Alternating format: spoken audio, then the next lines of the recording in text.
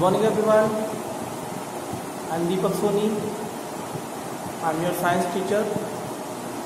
Today I'm going to start our next topic in chapter number 5 is what is cell is made up and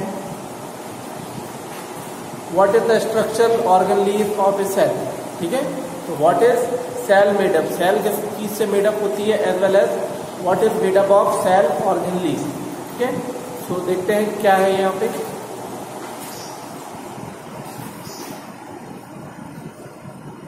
cell है special organ which is called cell organ cell के अंदर क्या होता है? एक special organs presence होते हैं।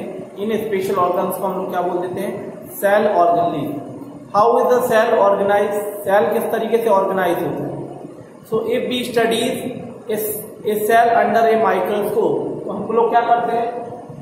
Under a microscope the three feature is almost in every cell every cell के अंदर कितने फीचर प्रेजेंट होते हैं? ऑलमोस्ट थ्री फीचर्स ऑफ़ जो होते हैं वो प्रेजेंट होते हैं। कौन कौन से थ्री फीचर्स होते हैं?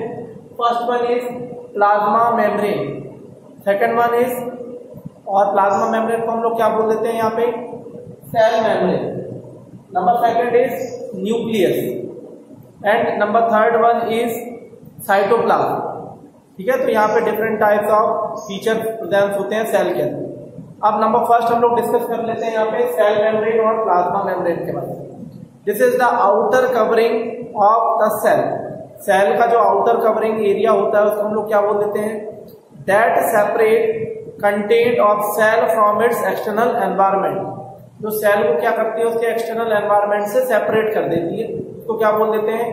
Cell membrane the plasma membrane allows और permit the entry and exist of some material in और out in the cell mean जो सेल मेम्ब्रेन होती है वो सम सब्सटेंस और any substance from outside to inside of the cell ये किसके ऊपर क्या करती है? अलाउ करती है। To permit in the exit और entry of the cell next है it is if also prevent movement of some other material some other material के मूवमेंट को भी अगर कोई प्रिवेंट करता है तो वो plasma membrane the cell membrane therefore is called selectively permissible membrane mean जो सेल मेम्ब्रेन और प्लाज्मा मेम्ब्रेन को हम लोग क्या बोलते हैं?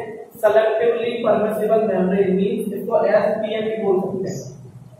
और एसपीएम का फुल फॉर्म क्या होता है? Selectively permissible membrane the movement of sub, substance take place into the cell and how the substance move in out to the cell so, movement, जो भी कोई भी मूवमेंट ऑफ़ सब्सटेंस सेल के अंदर presence होता है as well as move out of the cell some substance like carbon dioxide oxygen can move across the cell membrane by the cell diffuse call diffusion mean some substance कौन कौन से हो सकते हैं? Like carbon dioxide as well as oxygen can move across the cell membrane cell membrane के through ही क्या करते हैं? मूव कर जाते हैं।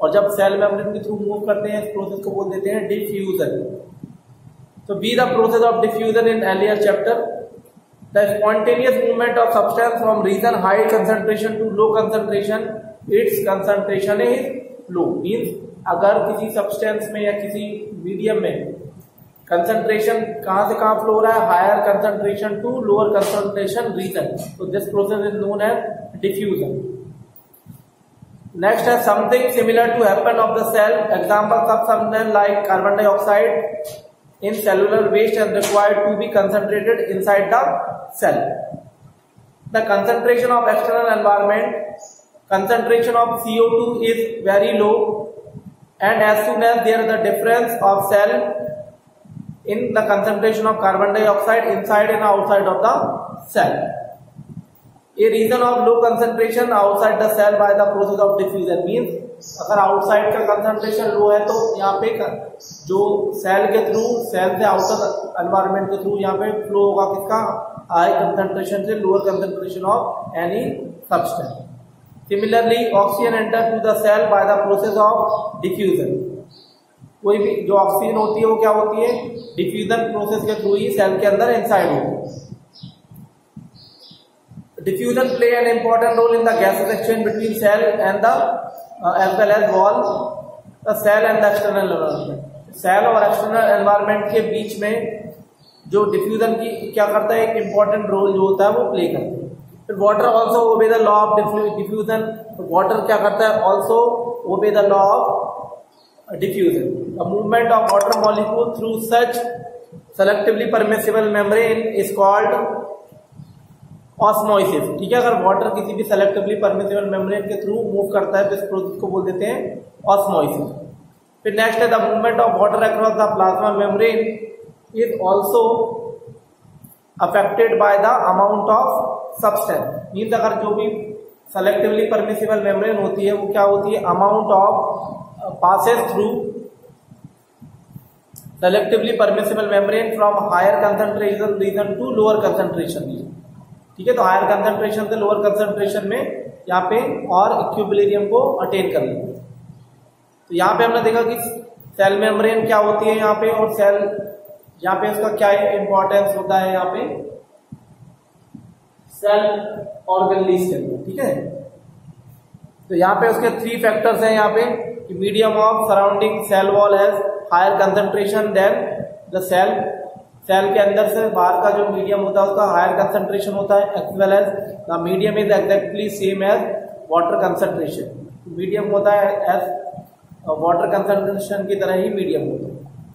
Such a solution is known as isotonic solution ठीक है तो आइसोटोनिक सॉल्यूशन और आउटसाइड और इनसाइड का जगह मीडियम सेम है तो वहाँ पे उसको बोलेंगे